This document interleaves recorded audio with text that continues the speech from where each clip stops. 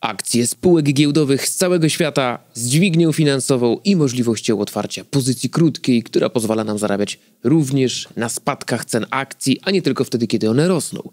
Brzmi całkiem atrakcyjnie, ale co tak naprawdę się za tym kryje? I czy akcje z dźwignią, które oferują nam brokerzy, to prawdziwe akcje spółek, które są notowane na giełdzie? Zapraszam do materiału.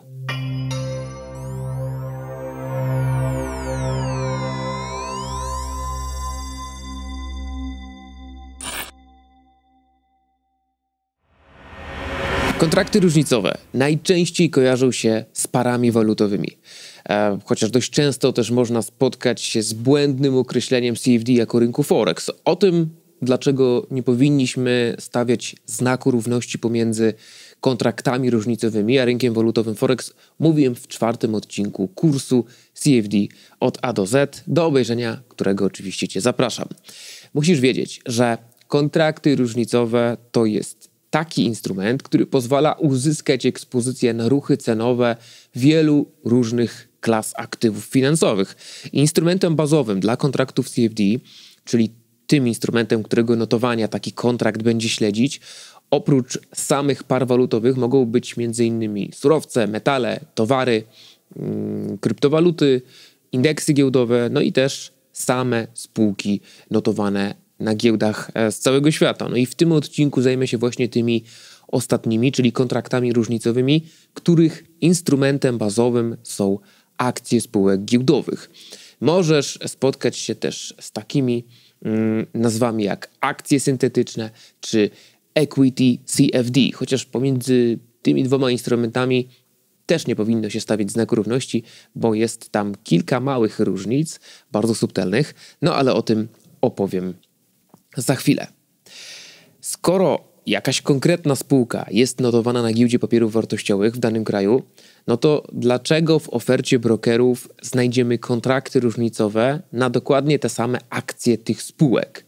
No i czym tak naprawdę różnią się akcje od CFD na akcje, skoro jeden i drugi instrument ma taką samą cenę, która wynika z notowań giełdowych spółki.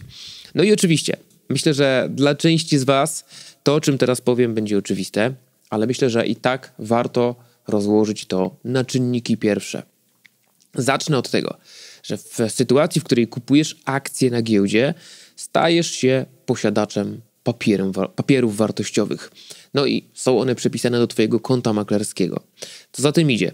Zostajesz jednym z akcjonariuszy spółki, jednym ze współwłaścicieli i otrzymujesz prawa, jakie z tytułu bycia akcjonariuszem ci przysługują. Oczywiście tutaj nie będę wymieniał wszystkich, ale najważniejsze prawa akcjonariuszy to prawo do głosowania na walnym zgromadzeniu, no i prawo do udziału w zyskach spółki, czyli do dywidendy. O ile oczywiście spółka, której akcji kupiłeś, taką dywidendę wypłaca. Kupując i sprzedając akcje, masz realny wpływ na popyt i na podaż w arkuszu zleceń tej konkretnej spółki, no i tym samym na notowania jej akcji. Oczywiście Twoje zlecenia będą w stanie w cudzysłowie poruszyć kursem tylko w sytuacji, e, w której ich wartość będzie wystarczająco duża.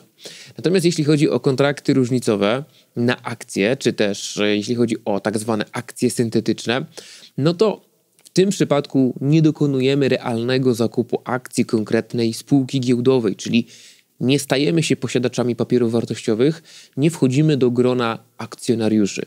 Kontrakty różnicowe to są instrumenty pochodne, czyli derywaty. Więc ich zadaniem jest jedynie śledzenie ruchów cenowych instrumentu bazowego. One bezpośrednio w niego nie inwestują. No w naszym przypadku to będzie oczywiście cena akcji jakiejś e, spółki. Co za tym idzie? Nasze transakcje na akcyjnych CFD nie mają żadnego realnego wpływu na arkusz zleceń konkretnej spółki, no i tym samym na jej cenę. Chociaż tutaj muszę powiedzieć, że jednym z wyjątków były akcje syntetyczne, które oferował XTB, natomiast one już w ofercie się nie znajdują po tym, jak e, pojawiły się rzeczywiście, pojawiła się rzeczywiście możliwość inwestowania na różnych europejskich i amerykańskich giełdach w prawdziwe akcje.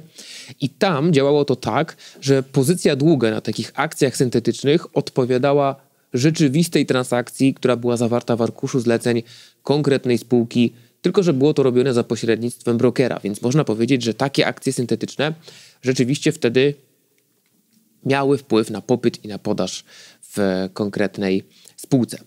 Natomiast jeśli chodzi o kontrakt różnicowy, no to jak zapewne wiesz, to jest rodzaj umowy pomiędzy kupującym a sprzedającym na pokrycie różnicy cenowej danego aktywa w określonym czasie.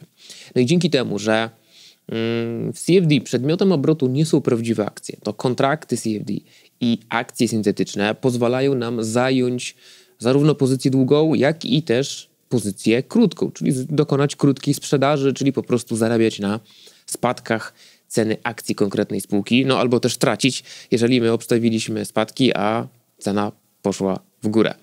Dla przykładu, jeżeli otworzyłem pozycję długą, powiedzmy, że na akcjach CD Projekt, za pomocą kontraktów CFD przy cenie 400 zł, a ich cena wzrosła do 450 zł, no to mój zysk na pojedynczym kontrakcie, który będzie liczony jako pojedyncza akcja, wyniesie 50 zł na pojedynczym kontrakcie, czyli 12,5%, oczywiście nie licząc punktów swapowych i prowizji za otwarcie transakcji. Jeżeli w tym samym czasie otworzyłbym pozycję krótką, czyli gdybym obstawiał spadki kursu, no to oczywiście moja transakcja zakończyłaby się analogiczną stratą 50 zł na pojedynczy kontrakt, mimo tego, że cena akcji wzrosła. I nie bez powodu podczas tej lekcji, mm, nie bez powodu e, konsekwentnie mówię e, o kontraktach różnicowych na akcje i akcjach syntetycznych, e, bo nie jest to dokładnie to samo. Akcje syntetyczne, tutaj może to trochę wprowadzać w błąd, ponieważ to nie jest nazwa techniczna, nazwa jakiegoś, jakiejś klasy instrumentu, tylko jest to nazwa trochę o charakterze marketingowym. Naprawdę akcje syntetyczne brzmi dobrze, poważnie i e, całkiem fajnie można to sprzedawać. Chodzi tutaj o to, mm, bo może być to dla niektórych mylące. Akcje syntetyczne to też są technicznie kontrakty różnicowe, czyli nie pozwalają inwestować w cudzysłowie w prawdziwe akcje. Natomiast akcje syntetyczne najczęściej nie mają dźwigni finansowej, no a to oznacza, że, że jeśli chcemy zająć pozycję kupując kontrakty o wartości, kupując akcje o wartości 10 tysięcy złotych, no to trzeba mieć przynajmniej ten depozyt 10 tysięcy złotych, oczywiście bez, e, nie licząc prowizji i nie licząc innych e, dodatkowych opłat. Akcje syntetyczne natomiast pozwalają nam w przeciwieństwie do akcji jako papierów wartościowych zająć pozycję krótką, czyli po prostu grać na spadek. No i w ich przypadku brokerzy najczęściej nie będą naliczać punktów swapowych za przetrzymywanie pozycji pomiędzy kolejnymi sesjami, więc one trochę bardziej nadają się do transakcji w średnim terminie niż standardowe CFD. Oczywiście tutaj to jest zależne od brokera, wysokość swapów jest indywidualnie ustalana, więc trzeba to wszystko sobie przeanalizować. W przypadku standardowych CFD na akcje mamy do czynienia z instrumentem lewarowanym, czyli takim, który daje nam dźwignię finansową, a za utrzymywanie pozycji najczęściej będą naliczane punkty swapowe na zakończeniu każdej sesji. Przypominam, że potrójny swap naliczany jest najczęściej w środę albo w piątek. No dobrze, kontrakty różnicowe to nie jest instrument dla każdego. Są dość kontrowersyjne, mm, wiele złych rzeczy można o nich przeczytać, ale ja zacznę od zalet, których nie można pominąć, być może trochę przewrotnie, że najpierw zalety, a potem będą wady, ale moim zdaniem z taką największą zaletą kontraktów CFD na akcje jest to, że to jest po prostu najprostszy sposób na uzyskanie ekspozycji z dźwignią finansową na kurs akcji danej e, spółki. Akurat w Unii Europejskiej, czyli również w Polsce maksymalny poziom dźwigni dla CFD na akcje to jest 5 do 1, czyli 20 depozytu zabezpieczającego.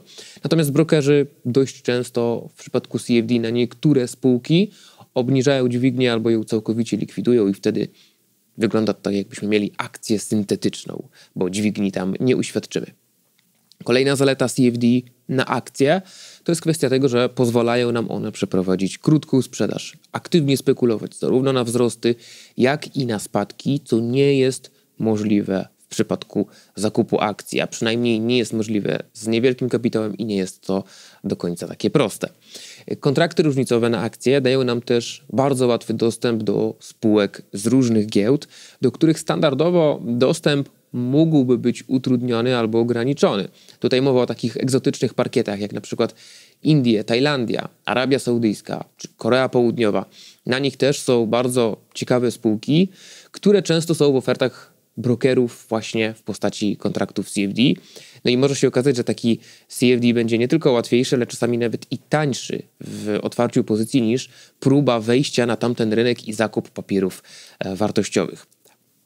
I kolejna kwestia, spekulując za pomocą kontraktów CFD na akcje, nie musimy osobno rozliczać przychodów z dywidend i zysków kapitałowych, a jeśli korzystamy z usług polskiego brokera, no to też otrzymamy gotowy formularz PIT-8C, więc mamy to wszystko ujednolicone i bardzo mocno ułatwione.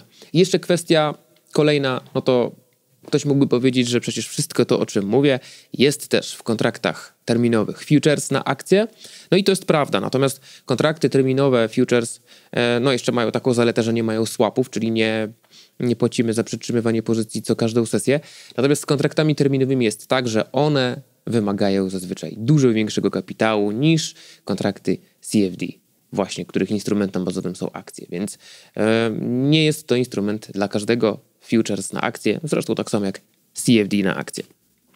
Jeśli chodzi o wady, e, no ja powiem tak, to jest e, CFD na akcje, to jest mocno demonizowany instrument i mówienie, no wieszanie psów na nim nie ma zbyt wiele sensu, bo to wynika z tego, że po prostu nie rozumiemy, do czego ten instrument jest, a on jest do bardzo wąskich potrzeb. Natomiast z wad, które mógłbym wymienić na temat y, VAT, które mają CFD na akcje, no to kwestia tego, że oczywiście nabywając kontrakty, nie staniemy się akcjonariuszami danej spółki. I więc kontrakty CFD nie są alternatywą dla akcji samych w sobie. Więc jeśli słyszycie takie coś, że CFD to tak jakby akcje, tylko że nie, no to nie, to nie jest alternatywa dla akcji.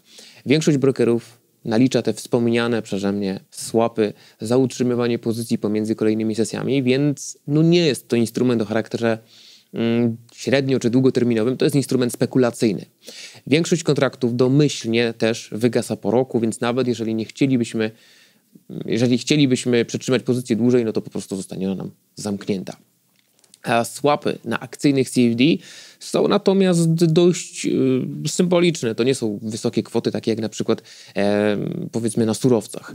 W XTB na przykład pozycja o wartości niecałych 40 tysięcy złotych na CD Projekt. Mamy tutaj, mówię o wolumenie 100 e, kontraktów, 100 akcji, mm, gdzie wymagany jest depozyt niecałych 12 tysięcy złotych.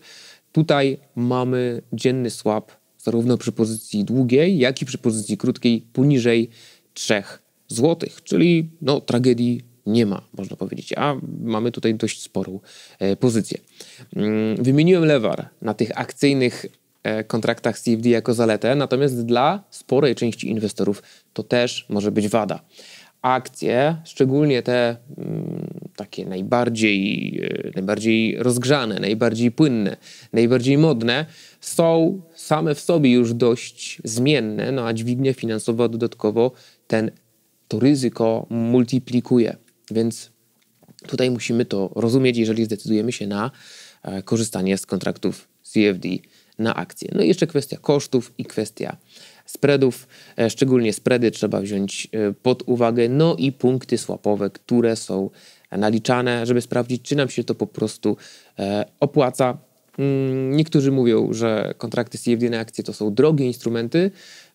To oczywiście zależy od tego, jakiego wybierzemy brokera, co to znaczy dla nas, że jest drogo i jaki mamy cel, jak długo będziemy takie pozycje utrzymywać i tak dalej, i tak dalej. Różni brokerzy mają różny sposób wyceniania kontraktów. No a naszym zadaniem jest wybrać takiego, który nalicza te koszty w sposób najbardziej nam odpowiadający. Dzięki za obejrzenie tego materiału. Mam nadzieję, że już teraz wiesz, że akcje prawdziwe w cudzysłowie nie mają zbyt wiele wspólnego z kontraktami różnicowymi na akcje czy z tak zwanymi akcjami syntetycznymi. Jeżeli tak, to łapka w górę, subskrybuj kanał FXMAC, no i standardowo zapraszam Cię do naszego sklepu gdzie znajdziesz jeszcze 23, kończące się już e, wydanie naszego drukowanego magazynu dla inwestorów. Szczególnie zachęcam Cię do prenumeraty. W prenumeracie masz taniej już jakby z samej istoty tego, że jest to prenumerata, bo 99 zł 70 groszy za 4 wydania. To jest prenumerata roczna naszego kwartalnika. Natomiast z kodem rabatowym złoto, pisanym bez polskich znaków, czyli złoto, dostajesz taką prenumeratę jeszcze o 20% taniej. No i Akademia Inwestora, nasz sztandarowy, nasz roczny projekt edukacyjny, 52 cotygodniowe lekcje, projekt, który ruszył e, we wrześniu. Z, każdy, z każdym zakupionym egzemplarzem cena rośnie o 1 zł, a przypominam, że rozpoczynała się od 499, więc kto pierwszy, ten ma taniej. Może kto wcześniej, ten ma taniej. Ja szczerze zachęcam. E, każda lekcja jest e, opisana już teraz 14 lekcji się ukazało i co tydzień każda kolejna będzie publikowana. Szczerze zachęcam do e, skorzystania z naszej akademii. No i widzimy się w kolejnym odcinku kursu CFD od A do Z. Cześć!